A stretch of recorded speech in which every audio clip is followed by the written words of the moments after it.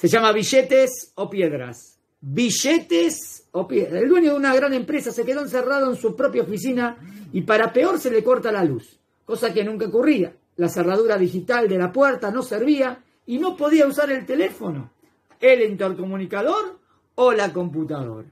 Como no quería quedarse a dormir en su oficina hasta la mañana siguiente, fue a la ventana y empezó a gritar, a pedir ayuda, grita, grita, a ver si alguien lo escucha.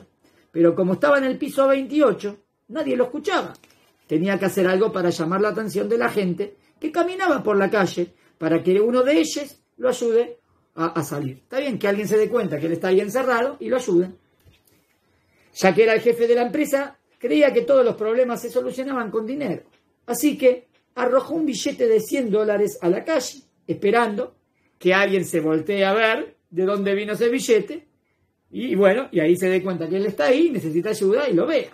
Pero para su decepción, alguien simplemente lo levantó del piso, se lo guardó en la bolsa y siguió caminando. Y el otro se quedó, tiró el de 100 dólares, pero nadie se dio cuenta. Probó con otro billete y con otro más, pero lo mismo. Nadie volvió a ver de dónde provenían los billetes. Fue a su caja fuerte, sacó todo el dinero, 17 mil dólares, esperando así que su plan de resultado, todo con tal de no tener que dormir allí. Se ve que era multimillonario, ¿no?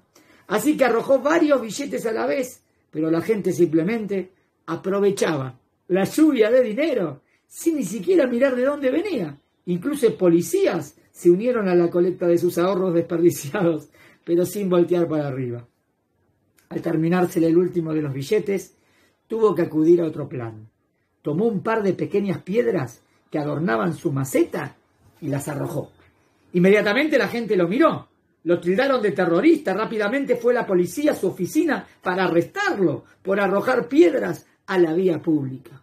Él solo argumentó en su defensa, ¿por qué nadie me vio cuando arrojé los billetes? ¿Por qué solo me vieron cuando arrojé las piedras? Moraleja.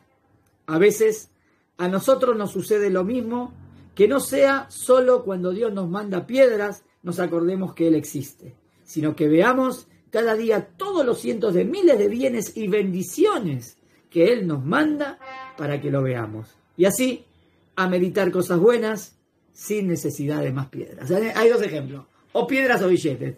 Te caen billetes, como te cae bendición. Y te caen piedras como dolor, no algo que duele. Entonces, uno no tiene que levantar la, mirada solamente cuando le cae una piedra. Si le cayó una bendición, Baruch Hashem, reconoce que viene de Dios pero no le funcionaba, tuvo que tirar piedra ¡ay! ahí lo vieron y ahí todos se dieron cuenta que estaba ahí.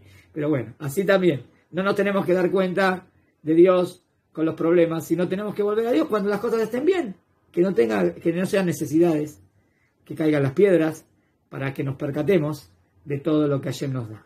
¿Está bien? Cuentito, como la aleja.